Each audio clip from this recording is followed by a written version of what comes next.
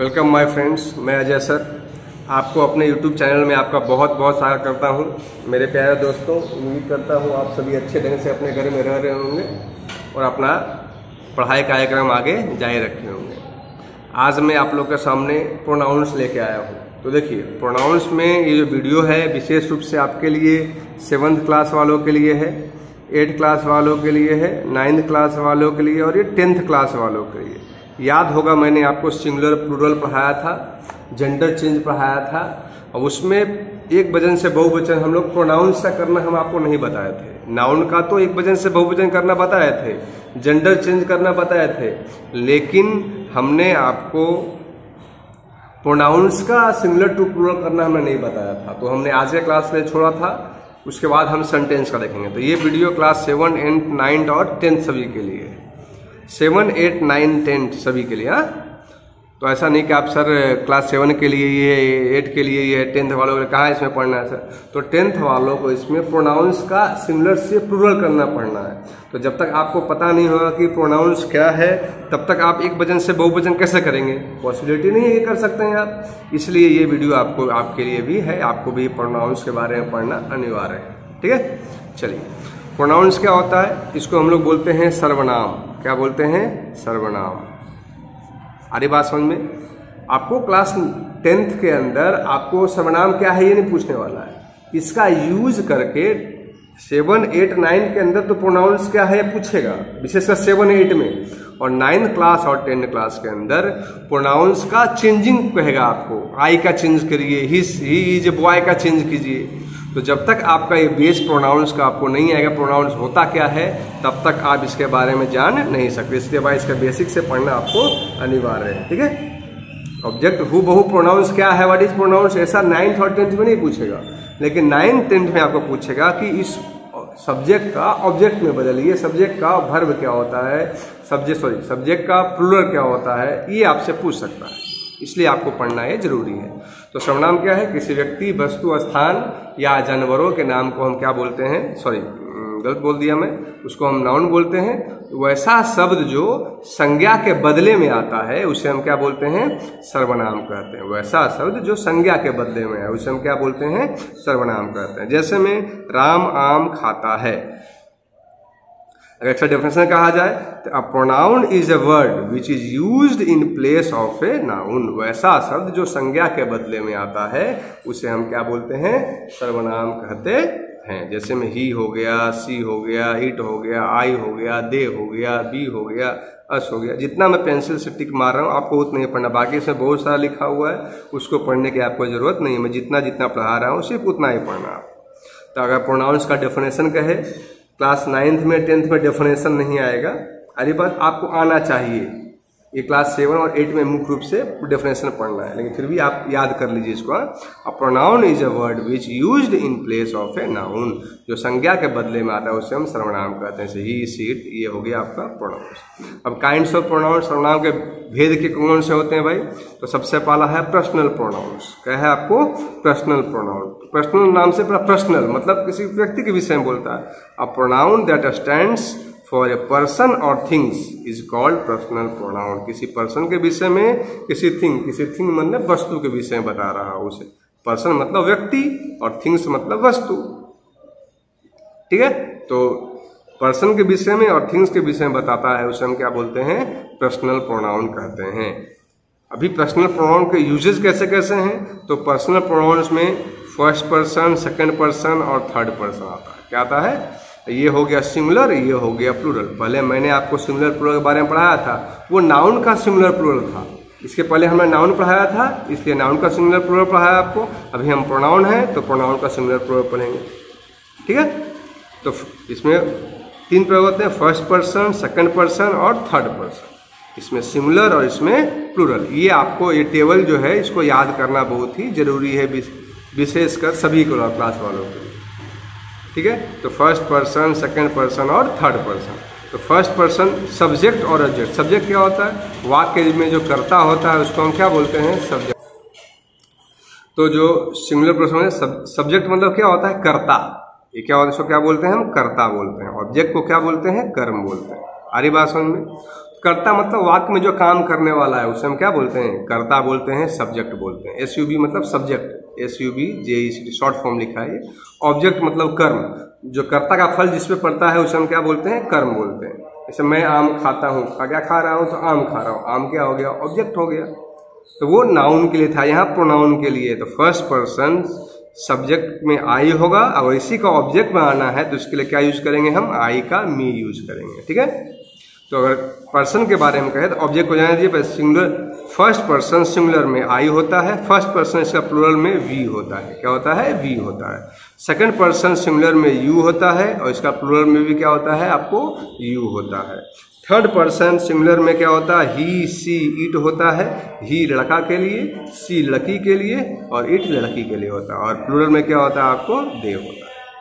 ठीक है? अगर आप वाक सेंटेंस मिलेगा, आपको समझ गए ना? वाक्य मिलेगा। आई एम ए बॉय इसको चेंज करो प्लूरल में। तो वी आर बॉयज़ हो जाएगा। है? तो आई हो गया आई का प्लूरल बी यू का प्लूरल यू और ही सी इट का प्लूरल क्या होता है आपको? दे होता है। फ़र्स्ट पर्सन सिंगुलर में आई फ़र्स्ट पर्सन प्लूरल में वी सेकंड पर्सन सिंगुलर में यू सेकंड पर्सन प्लूरल में यू थर्ड पर्सन सिंगुलर में ही सी इट या कोई नाम, यहाँ कोई नाम भी हो सकता है, ठीक है? और प्लूरल में क्या होता है आपको? दे होता है। अब इसी का अगर ऑब्जेक्टिव केस में आ जाए ऑब्जेक्ट के रूप में यूज़ करना आ जाए तो आई का ऑब्जेक्ट मी होता है। ये भी यूजेज है इसलिए विशेष पढ़ा रहा हूँ मैं क्योंकि जब आप सेंटेंस का सिमिलर से प्लूरल करेंगे एक्टिव से पैसिव बनाएँगे तो पैसिव में ऑब्जेक्ट फॉर्म के रूप में आएगा। इसलिए टेबल मोस्ट भी, भी आई है आपके लिए। नहीं आएगा तो काम आपको चलने वाला नहीं है। आई का ऑब्जेक्ट मी यू का ऑब्जेक्ट यू ही का ऑब्जेक्ट हिम सी का ऑब्जेक्ट हर इट का ऑब्जेक्ट इट ठीक है? अगर इसी का आ जाए सब्जेक्ट में वी का सब्जेक्ट है, इसका ऑब्जेक्ट यू अस हो जाएगा यू का यू होगा और दे का देम हो जाएगा। उम्मीद करता हूँ टेबल समझ गए होंगे आप, अच्छे से टेबल को दिमाग में बैठा लीजिए। फ़र्स्ट पर्सन फ़र्स्ट पर्सन मतलब क्या होता है? फ़र्स्ट पर्सन मतलब जो बोल रहा है। A person which refer the person speaking are the first person जो बोलने वाला होता है, उसको हम क्या बोलते हैं? फ़र्स्ट पर्सन जैसे मैं तो आपको पढ़ा रहा हूँ तो बोलने वाला यहाँ कौन है? मैं बोल रहा हूँ, इसे हम क्या बोलेंगे? फ़र्स्ट पर्सन बोलेंगे. क्या बोलेंगे? फ़र्स्ट पर्सन बोलेंगे. आई है वी है माई है आवर है मी है अस है, ये सब के सब क्या है आपको? फ़र्स्ट पर्सन है. क्या है? फ़र्स्ट पर्सन सेकंड पर्सन क्या होता है आपको भाई? जिससे हम बात कर रहे हैं। A person which refers to a person place spoken are the second person जिससे बात किया जाए, उसे क्या बोलते हैं? सेकंड पर्सन जैसे मैं पढ़ा रहा हूँ तो मैं फ़र्स्ट पर्सन हो गया। आपको पढ़ा रहा हूँ, बात आप ही से कर रहा हूँ ना मैं?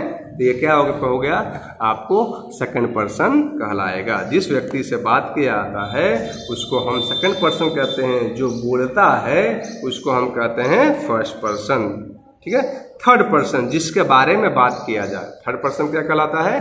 जिसके बारे में बात किया जाए, वो कहलाता है आपको थर्ड पर्सन जैसे मैं मैं किताब के विषय में सर्वनाम के विषय में बात करता हूँ, तुमसे बात कर रहा हूँ, तुम्हारे पिताजी का नाम क्या है? तो मैं हो गया फ़र्स्ट पर्सन तुम हो गया सेकंड पर्सन और तुम्हारे पिताजी के विषय वार्तालाप कर रहा हूँ तो क्या हो गया? थर्ड पर्सन तुम्हारे पिताजी क्या हो गए? थर्ड पर्सन कहलाएँगे। जैसे मैं मैं गाय पर निबंध पढ़ा रहा हूँ आपको। क्या पढ़ा रहा हूँ? गाय पर निबंध पढ़ा रहा हूँ। समझ रहे हैं ना? तो मैं हो गया फ़र्स्ट पर्सन आपको पढ़ा रहा हूँ, आप हो गए सेकंड पर्सन और गाय के बारे में पढ़ा रहा हूँ तो वो क्या हो गया आपको? थर्ड पर्सन कहलाएगा। आगे बात समझ में? फ़र्स्ट पर्सन क्या होता है? सेकंड पर्सन क्या होता है? थर्ड पर्सन क्या होता है? आप अच्छे से समझ गए होंगे, उम्मीद करता हूँ। ठीक है? ओके, चलिए, उसके बाद क्या है आपको भाई? इसके बाद क्या है आपको दूसरा होता है रिफ्लेक्सिव प्रोनाउन क्या होता है आपको दूसरा? रिफ्लेक्सिव प्रोनाउन रिफ्लेक्सिव प्रोनाउन में क्या है आपको? Reflexive pronoun is the same as emphatic pronoun emphatic pronoun का जैसा होता है, लेकिन थोड़ा सा इसमें डिफरेंसेस क्या होते हैं आपको? जैसे में myself himself herself जैसे में आई है आई कंप्लीट दिस जॉब मैंने इस काम को स्वयं समाप्त किया। ये क्या हो गया? माई सेल्फ क्या हो गया आपको? रिफ्लेक्सिव प्रोनाउन हो गया। क्या हो गया? रिफ्लेक्सिव प्रोनाउन हो गया। It shows that a subject is itself affected by the person receiver of an action ये खुद ही काम करता है जैसे मैं खुद काम कर रहा हूँ, आप खुद काम कर रहे हैं। ही इंजर्ड हिमसेल्फ वो खुद ही अपने आप से क्या हो गया? इंजर्ड हो गया। तो हिमसेल्फ क्या हो गया? रिफ्लेक्सिव प्रोनाउन हो गया। ये माई सेल्फ क्या हो गया? रिफ्लेक्सिव प्रोनाउन हो गया। She is afraid of herself वो क्या हो गया आपने? अपने आप से क्या है? वो अफ्रेड है।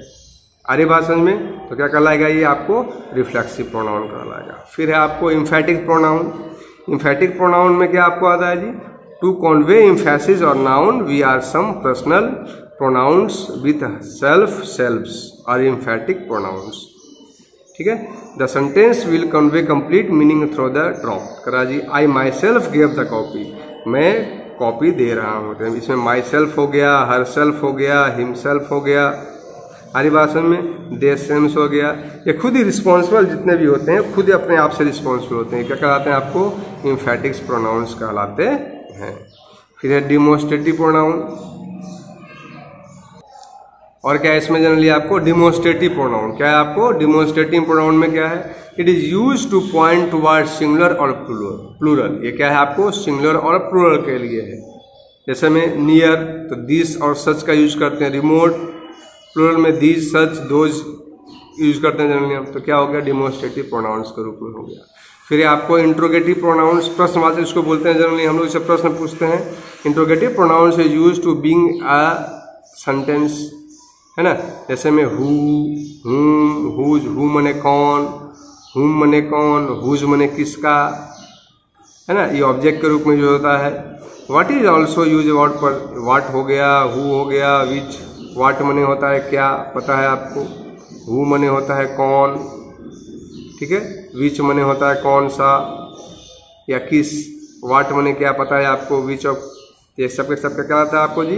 इंट्रोगेटिव प्रोनाउंस कहलाता है। उसके बाद क्या है, आपको नेक्स्ट में है रिलेटिव प्रोनाउंस जो रिलेट करता है, संबंध स्थापित करता है जी। They are use only after the related हाँ ये क्या कहता है they are use only after related nouns are है ना, करा जी हु हुम ये भी रिलेशन को आपको अच्छी तरह से बताता है। जैसे में, यह कलम किसका है? हुज पेन दिस यह कलम किसका है आपको? तो किसके बारे में क्या बता रहा है? रिलेशन बता रहा है वाक्यों के अंदर।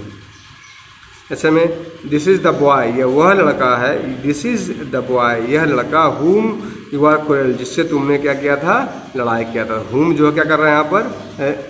अब ये भी है होम का यूज़ किए लेकिन ये रिलेशन के रूप में यूज़ करें इसमें वाक्य से तो सबके पहले है तो इंट्रोगेटिव हो गया। लेकिन वाक्य के बीच में है और इस सेंटेंस के बीच में, इस सेंटेंस के बीच में हुम जो होता है, वो क्या कर रहा है आपको? रिलेशन पैदा कर रहा है। क्या कर रहा है आपको? हुम रिलेशन पैदा कर रहा है। दिस इज़ द बॉय ये लड़का है हुम करल विथ मी जो मुझसे लड़ा है। तो हु क्या कर रहा है? इसके इन दोनों वाक्यों के बीच क्या कर रहा है? रिलेशन बता रहा है। आरी बात समझ ये क्या हो गया आपको? रिलेटिव प्रोनाउंस हो गया। क्या हो गया आपको? रिलेटिव प्रोनाउंस हो गया। ठीक? अब इसी में एक और आता है आपको। नोमरिकल एंड क्वांटिटी प्रोनाउंस है ना?